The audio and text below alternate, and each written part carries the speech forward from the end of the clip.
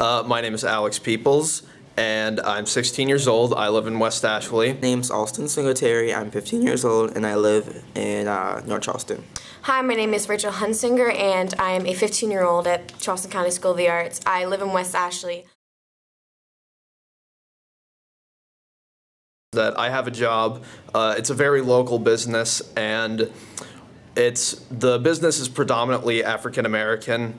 Uh, I'm really the only white person who wor- who works for this business, and whenever I'm doing my job selling things, um, the question or the, the statement that I hear the most is "You're the wrong color." Uh, pe- people sometimes say, "I didn't know that they hired white boys," and that comes from both African Americans and Caucasians. I've never really had a lot of experience with racism or discrimination until I got to middle school, whereas a lot of the people that I consider, you know, my people, black people, they've, you know, kind of treated me differently and they knew that I was different, so they didn't like it. And it, it, it really hurt for a while. I'm a Christian, for one. And two, um, I kind of like to have my pants on my waist. And and I don't listen to rap. I really don't like rap. But being at a new school has changed my whole outcome of life. Oh, from West Ashley. My personal experience with prejudice has to do with my religion. I am a conservative Jew in West Ashley with a Baptist who used to be Baptist father and a Jewish mother. And being raised in this society as a Jewish person is difficult when people assume that you can't be Jewish because of your father, you can't be Jews- Jewish based on your family. And the way that people think of it they use jokes and they joke about Jewish jokes and stuff like that and it's they're very naive. It's the idea that naivety is how they can think of my religion, which doesn't make sense to me. It makes it hard for me to talk to them about it and them completely understanding.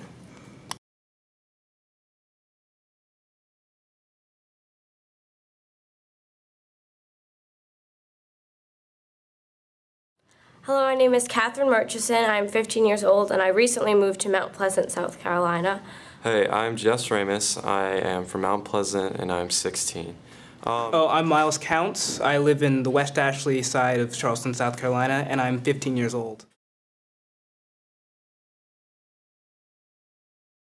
Um, my father is an African American male and my mother is Caucasian. She's Italian. And so my entire life I've kind of been sheltered from the prejudice associated with either race. But I have noticed recently, since I moved to South Carolina, that the schools and the communities, they're segregated in some ways, but in others they are much more integrated than they are in the North. And I'm coming to the realization that people make lots of assumptions when they see your race because unlike your religion or your sexual preference or anything like that, race isn't really anything that you could hide from the world. It's it's clear, it's there, it's your skin color and, and it's been the source for ruthless prejudice and I actually haven't faced much or as much as I would maybe if I was completely white or completely black.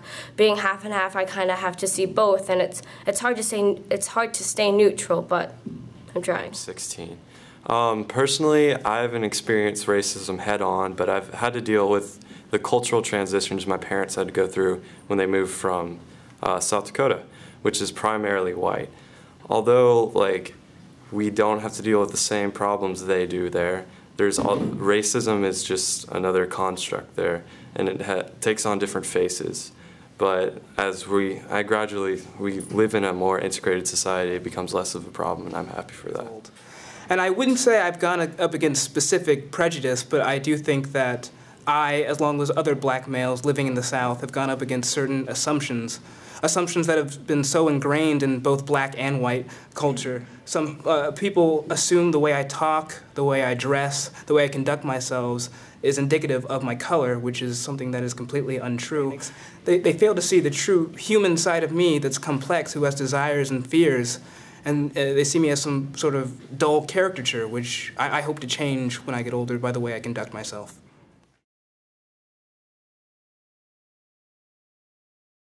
My name is Caden Hamrick. I'm 14 years old and I live in James Island, South Carolina. Hi, I'm Emily Fairchild. I'm 15 and I live in Mount Pleasant. Uh, my name is Will Isaacson. I live in West Ashley. I am 16 years old and I'm a junior at Charleston County School of the Arts. My experience with prejudice is that I've had some family friends that I've known for years that decided early on in their lives that they did not agree with interracial relationships. And they like to bring this up a lot around our family and other people because they want to make what they think is a difference in the society. And when I try to object to that, they sign me up as wrong. And because of that, I feel uncomfortable about talking about these sort of subjects around them. And it's hard to get my voice out there. I, am incredibly feminist as a person, and I believe that there aren't differences in people based on who they are on the outside race, gender, where they're from. That isn't a huge deal in who they are as a person. And yet, the other day I was watching the Super Bowl, and there were, say, flower ads for Valentine's Day that quite clearly, I mean, no, there was no subtlety about it, made women into sex objects and women into a car you might want to buy. And, you know, my brother's like, I don't understand why this is such a big deal, except for the fact that I've seen that in some people's eyes, that's all I can be. And so I fight against that by being intellectual and by telling my sister that I don't think how she looks matters. But I see that it matters to her and in the way people view every girl that I know. And every girl that I know has dealt with this. And I think it's a huge problem. And if we continue sending messages to people that it's just a joke or it's just an ad, and you observe that every day, nothing will change. Was it. When I was in ninth grade, me and my friends aren't particularly Christian, and um, we all sit together at lunch, and we actually, from other people that were were Christian, sort of um, gave us the tag of the atheist group, and everyone sort of started getting a predisposed um, stereotype according to us like saying some people thought we like believed in like worshiping satan and stuff like that. And it actually got to the point where not, some people wouldn't even sit around our lunch table. So it was just sort of it was sort of disheartening to feel like all these peers that you associate with every day their views just change because of what some person thinks or says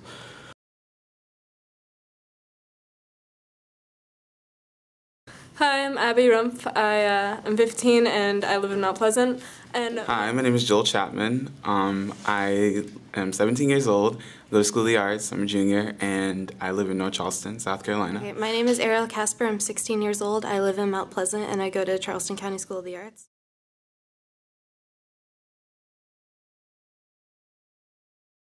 My experience with um, prejudices and with people generalizing a group of people based on what they've seen or heard in the media um, has been to the extent of religion. Um, I'm a Christian and I come from not a full Christian family, but even as I have gotten like older, people assume that Christians hate gays and that we're hypocritical beings. And if you actually look at what the Bible says and about forgiveness and love, like all of these things if if if Christians went by what the Bible says, it would be a completely different thing. It's not really about religion. It's about, you know, sacrifice and.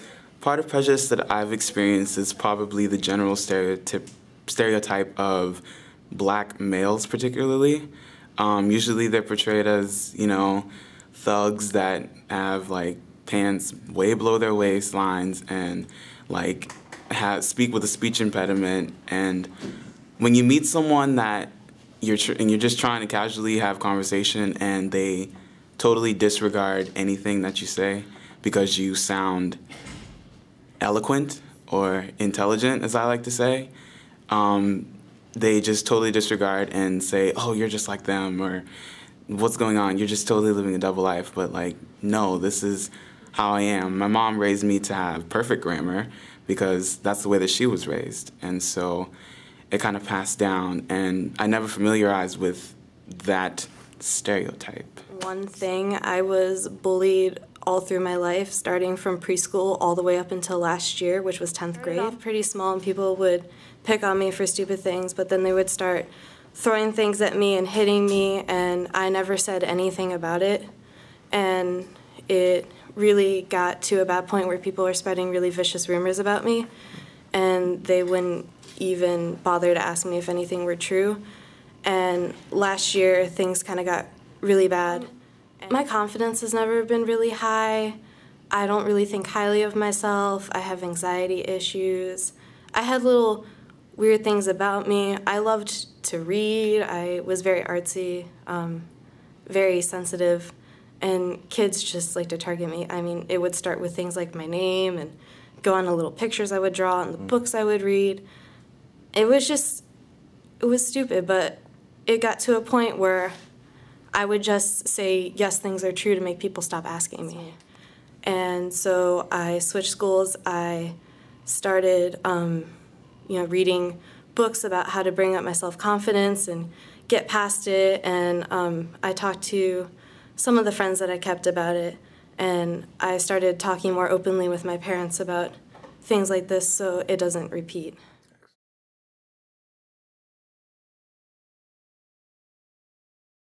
DeAndre Curtis, 16, in North Charleston. When um, I went to the store and when I walked through the door, a white person came up to me and she was like, "Can I help you with anything?" And I was like, "No, I'm just looking."